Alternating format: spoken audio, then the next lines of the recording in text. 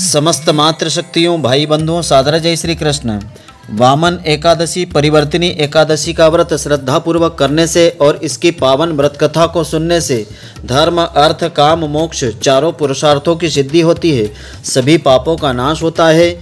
जो भी मनोकामना होती है, वह पूर्ण होती है। तो मित्रों, आज आपको हम बताएँगे, वामन एकादशी, परिवर्तनी एकादशी का व्रत कब रखा जाएगा? तो मित्रों, आप सभी का बहुत बहुत स्वागत है आपके अपने ही चैनल एस्ट्रो गुरुजी में। यदि आपने अभी तक हमारे चैनल को सब्सक्राइब यदि नहीं किया हो तो अभी सब्सक्राइब कर लें और बेल आइकन को अवश्य दबाएँ, जिससे हमारे अगले आने वाले नए वीडियो की नोटिफिकेशन सबसे पहले आपके पास पहुँचे। आप नित्य नई नई ज्ञानवर्धक जानकारियाँ व नित्य का राशिफल हमारे चैनल से प्राप्त करते रहें। तो व्रत एवं उपवास का महत्व हर देश में होता है। हर धर्म व्रत के लिए आदेश देता है क्योंकि क्योंकि जो इसका विधान होता है, आत्मा और मन की शुद्धि के लिए होता है। व्रत एवं उपवास करने से ज्ञान शक्ति में वृद्धि होती है, तथा सद्विचारों की शक्ति हमें प्राप्त होती है। व्रत एवं उपवास में आहार का त्याग एवं सात्विक भोजन का विधान होता है। इसलिए व्रत आरोग्य एवं दीर्घ जीवन की प्राप्ति का उत्तम साधन होता है। तो जो व्यक्ति नियमित व्रत उपवास करते हैं उन्हें उत्तम स्वास्थ्य तथा दीर्घ जीवन की प्राप्ति के अलावा इस लोक में सुख तथा परमात्मा के चरणों में स्थान मिलता है। तो नारद पुराण में व्रतों की महिमा को बताते हुए ऐसा बताया है कि गंगा के समान कोई तीर्थ नहीं है और माता के समान कोई गुरु नहीं है। भगवान विष्णु जी के जैसा कोई देवता नहीं है तथा व्रत कोई तपस्या नहीं है। तो व्रतों में एकादशी व्रत को सर्वोपरि बताया है। प्रत्येक माह में दो एकादशी आती है। अधिक मास या मल मास पड़ने पर उस मास की दो एकादशी और होती है। इस प्रकार कुल मिलाकर के 26 एकादशी होती है। यह सब एकादशियाँ अपने नाम के अनुरूप फलों को देने वाली होती है, जिनकी कथा तथा विधि सुनने से भली प्रकार ज्ञात हो जाता है। तो एकादशी की उत्पत्ति तथा महात्मा के पढ़ने और सुनने तथा दिन रात भजन कीर्तन करने से मनुष्य अनेक सुखों को प्राप्त करके विष्णु लोक को प्राप्त कर लेता है। एकादशी व्रत के दो भेद होते हैं, नित्य और काम्य। तो एकादशी व्रत बिना किसी कामना की किया जाए तो वह नित्य कहलाता है। और किसी प्रकार की कामना, जैसे कि धन, पुत्र आदि की प्राप्ति अथवा राग, द्वेष, क्लेश आदि से छुटकारा पाने के लिए किया जाए तो वह काम्य कहलाता है। एकादशी व्रत का आरंभ करने का शुभ समय चैत्र मास, वैशाख मास, माघ मास मार्गशीर्ष की एकादशी तिथि होती है। मलमास या अधिक मास गुरु शुक्र के अस्त रहते हुए दिन छः के समय से व्रत आरंभ नहीं करना चाहिए। तो कम से कम आठ वर्ष की आयु वाला व्यक्ति व्रत करने का अधिकारी होता है। सदवा स्त्रियों को अपने पति की आज्ञा को प्राप्त करके ही व्रत आरंभ करना चाहिए। व्रत जो है श्रद्धा, भक्तिपूर्वक प्रारंभ करना चाहिए। किसी के दबाव में आकर व्रत नहीं करना चाहिए। तो व्रत का विधान विधान दसवीं से शुरू होकर तीन दिन में, अर्थात द्वादशी को संपन्न होता है। द्वादशी के द्वितीय प्रहर में व्रत का पारायण किया जाता है, पारण किया जाता है, व्रत खोला जाता है। अर्थात इस दिन सुपात्र ब्राह्मण को भोजन करवा करके इस व्रत का पारण करना चाहिए, अथवा किसी देव मंदिर में सीधा आदि सजा करके भिजवाना चाहिए। यदि एकादशी व्रत करना भूल जाए तो द्वादशी को व्रत करके त्रयोदशी के दिन इस व्रत का पारण कर सकते हैं। तो व्रत के प्रथम दिवस अर्थात दसवीं के दिन से ही तीन दिन तक द्वादशी तक गंध, मांस, तांबुल, फूल, सहवास, उड़द, मसूर, चना, चावल, अन्न, तेल, शाक, शहद आदि का त्याग करना चाहिए और कांसे के पात्र में भोजन नहीं करना चाहिए, झूठ नहीं बोलना चाहिए, जुआ आदि खोटे कर्मों से दूरी रखना चाहिए। तो स्नान आदि नित्य कर्म से निवृत्त होकर के एकादशी व्रत का संकल्प लेना चाहिए। श्रद्धा भक्ति सहित श्रीहरि का व्रत के नियम, विधान अनुसार पूजन, अर्चन करना चाहिए। जप हवन, पाठ, भजन, कीर्तन आदि में अपना समस्त दिन तथा रात व्यतीत करना चाहिए। दिन में सोना नहीं चाहिए। व्रत करने वाला अशक्त, दुर्बल अथवा रुग्ण या रोगी हो तो दूध, फल, औषधि आदि का सेवन इसमें कर सकता है। इस प्रकार व्रत करते हुए जब भी इच्छा हो, व्रत का उद्यापन करके व्रत को समाप्त कर सकते हैं। व्रत का उद्यापन किसी योग्य आचार्य के द्वारा करवाना चाहिए। छब्बीस ब्राह्मण दंपतियों को सात्विक भोजन उस दिन करवाना चाहिए तथा अपने संबंधियों, परिवार तथा इष्ट मित्रों को भोजन करवा करके फिर स्वयं भोजन ग्रहण करना चाहिए और दान, दक्षिणा, गौदान आदि विशेष रूप से करना चाहिए। तो विधि पूर्वक योग्य आचार्य के द्वारा शास्त्र की विधि के अनुसार उद्यापन करवाने से व्रत की सिद्धि प्राप्त होती है। तो व्रत में सागार का विधान इस प्रकार से होता है। एकादशी के दिन सागार का विशेष विधान होता है। जिस दिन जो सागार लिखा होता है, जो लेना होता है, केवल उससे रहना कठिन हो तो पहले ग्रास में उस विशेष सागार को लेकर पीछे शाकाहार या फलाहार आपको लेना चाहिए।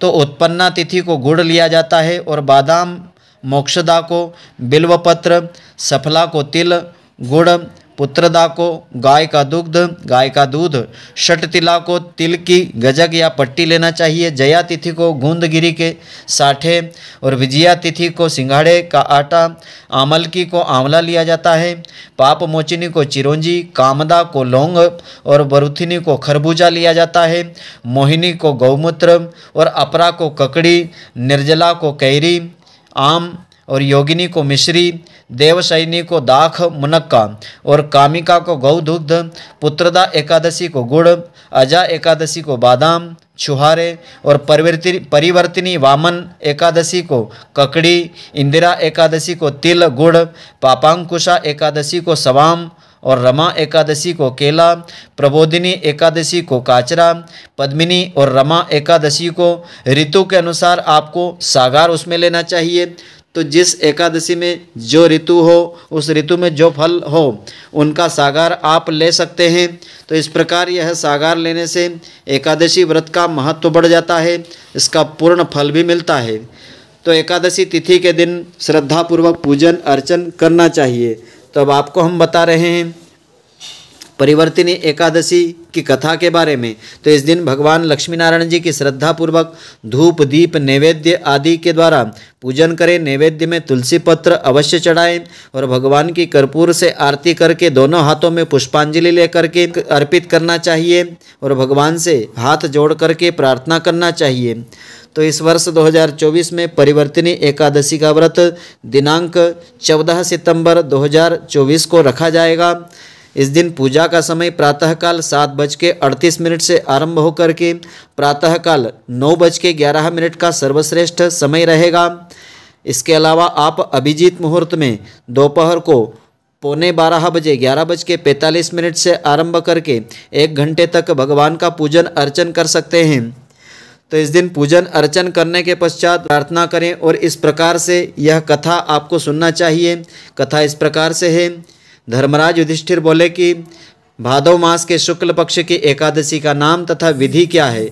सो मुझसे कहिए तो कृष्ण भगवान कहते हैं कि, हे राजन श्रेष्ठ, इस एकादशी को वामन, परिवर्तिनी तथा जयंती एकादशी भी कहते हैं। इसकी कथा को सुनने मात्र से ही समस्त पापों का नाश होता है। इस जयंती एकादशी की कथा से नीच पापियों का भी उद्धार हो जाता है। यदि कोई धर्मपरायण मनुष्य इस एकादशी के दिन मेरी पूजा श्रद्धा के साथ करता है तो मैं तो मैं उसे समस्त संसार की पूजा का फल देता हूँ। जो मनुष्य इस एकादशी के दिन श्री वामन भगवान की पूजा करता है, वह तीनों देवता अर्थात ब्रह्मा, विष्णु, महेश की पूजा का फल प्राप्त कर लेता है। इस एकादशी के दिन श्री विष्णु भगवान करवट बदलते हैं। इसलिए इसे परिवर्तनी एकादशी कहते हैं। इस पर श्री युधिष्ठिर जी कहते हैं कि, हे भगवान, आपके वचनों को सुनकर मुझे महान संदेह हो रहा है। कि किस प्रकार से सोते तथा भगवान करवट बदलते हैं, तथा उन्होंने बलि को क्यों बांधा था और वामन रूप धारण करके कौन कौन सी लीलाएँ भगवान ने की थी। तो श्री कृष्ण भगवान कहते हैं कि त्रेता युग में बलि नाम का एक दानव कुल में उत्पन्न हुआ एक राजा था। वह राजा अत्यंत भक्त था, दानी था, सत्यवादी था तथा ब्राह्मणों की सेवा किया करता था। इसी भक्ति के प्रभाव से ही वह स्वर्ग के राजा इंद्र के स्थान पर राज्य करने लगा था।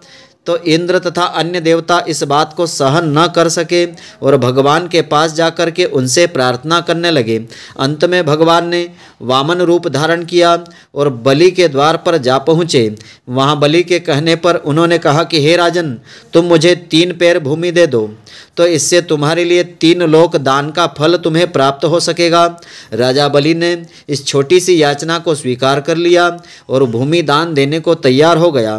तो वामन भगवान ने अपने आकार को बढ़ाया और भूलोक में पैर रखे, भुवर लोक में जंघाएँ की, स्वर लोक में कमर की, महर लोक में पेट किया, जन लोक में हृदय और तप लोक में कंठ और मृत्यु लोक में मुख रख करके अपने सिर को ऊँचा उठा लिया और फिर उन्होंने राजा बलि को पकड़ा और पूछा कि, हे राजन, अब मैं तीसरा पैर कहाँ पर रखूँ? इतना सुनकर राजा बलि ने अपना सिर नीचे कर दिया उस पर उन्होंने अपना तीसरा पैर रख दिया तो वह भक्त दानव पाताल को चला गया। उसे अत्यंत विनीत भाव में पाकर विष्णु भगवान कहते हैं कि, हे बलि, मैं सदैव तुम्हारे पास ही रहूँगा।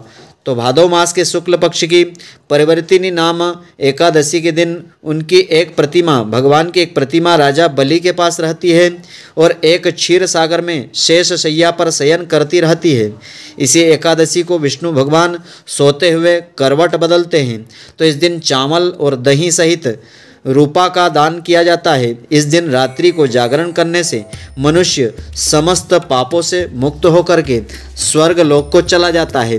तो यह कथा श्रद्धापूर्वक सुनने से इस व्रत का पूर्ण फल प्राप्त होता है। तो मित्रों, आशा करता हूँ कि आपको हमारी यह ज्ञानवर्धक जानकारी पसंद आई होगी। यदि आपको पसंद आई हो तो आप हमारे वीडियो को लाइक व अधिक से अधिक शेयर अवश्य करें। धन्यवाद। जय श्री कृष्ण मित्रों, फिर